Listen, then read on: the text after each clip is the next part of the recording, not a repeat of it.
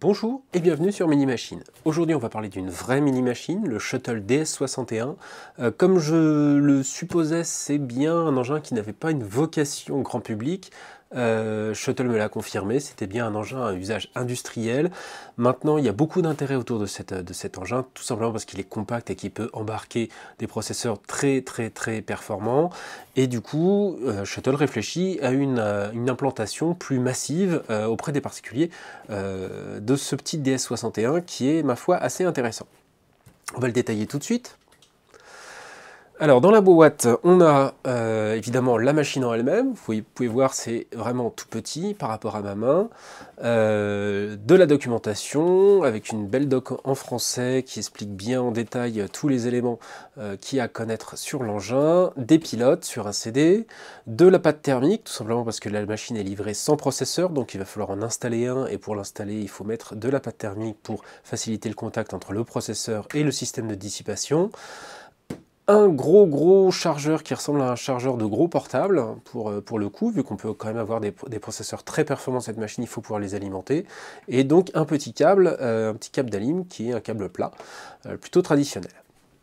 Voilà, pour la machine en elle-même, pour son package, on découvre un engin qui en lui-même est assez, vraiment assez compact, assez impressionnant à beaucoup de points de vue, notamment par sa robustesse. C'est vraiment un engin qui a été euh, construit pour être euh, robuste et on sent bien le côté industriel dans le design, hein, qui n'est pas forcément, euh, c'est pas forcément l'engin le plus joli que vous, puissiez rencontrer. Hein. c'est plutôt un, design industriel. maintenant, c'est vraiment un engin qui est super robuste et qui est prévu pour être embarqué à peu près n'importe où, dans n'importe quelle condition. On va faire le détail tout de suite de ce qu'il compose, à commencer par donc cette coque en métal très solide, euh, là qui est vraiment, vraiment, alors la machine est assez lourde, c'est vraiment tout en métal et vraiment très solide. Première chose qu'on remarque, donc c'est cette double euh, aération là sur le dessus, il y a deux ventilateurs en dessous, donc c'est pas du tout un engin qui est fanless, il y a, un système de ventilation actif euh, dedans, maintenant il faudra voir un petit peu euh, ce qu'il peut donner.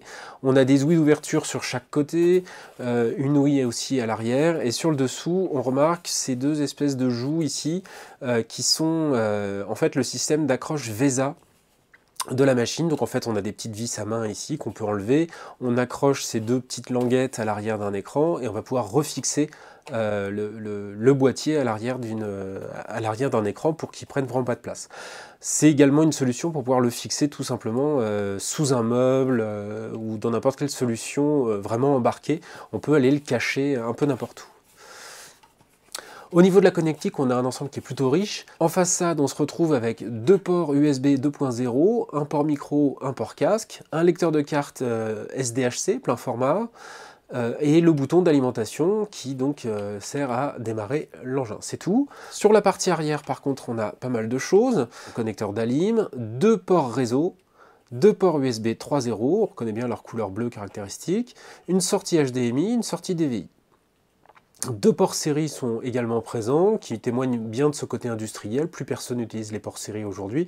Ça, c'est vraiment pour piloter des automates ou des choses, euh, euh, des, robots ou autres. Euh, c'est vraiment le, des restes du, monde industriel qui, sont sur cette machine. À noter également qu'il y a un port anti-vol qui est bien placé, qui est situé sur le côté ici, et qui, une fois qu'il est fixé, non seulement empêche la machine d'être volée, mais en plus empêche l'ouverture du capot de l'engin, donc pour éviter d'aller farfouiller ce qu'il y a à l'intérieur. Alors donc, euh, on peut en mettre deux, hein, il y en a un de chaque côté. Voilà, donc c'est vraiment très très sécurisable. Une fois qu'on a retiré les deux petites vis, là je l'ai fait, euh, fait d'avance, une fois qu'on a retiré les deux petites vis qui sont à l'arrière euh, de la machine, on peut déclipser le dessus et ouvrir l'engin.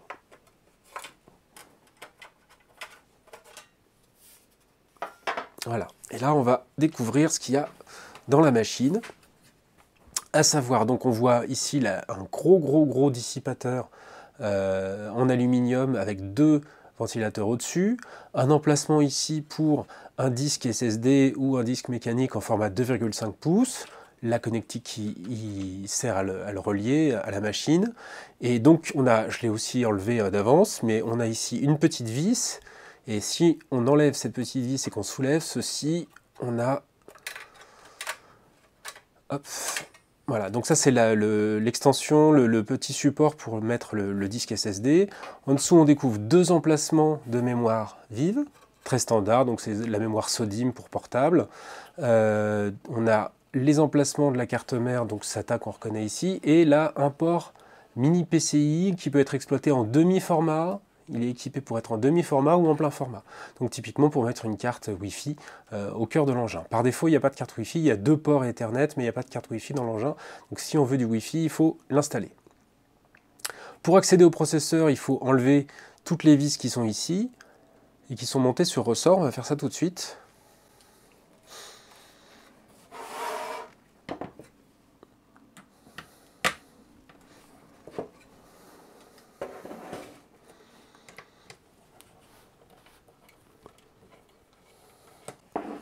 Voilà, quand on retire donc les quatre vis qui viennent euh, sur, autour du socket, euh, c'est un socket LGA 1155, quand on retire les quatre vis qu'on retrouve ici, qui sont maintenus, on ne peut pas les perdre, euh, on découvre donc un socket classique de machine en 1155. On va pouvoir donc intégrer un processeur à l'intérieur et le faire évoluer également.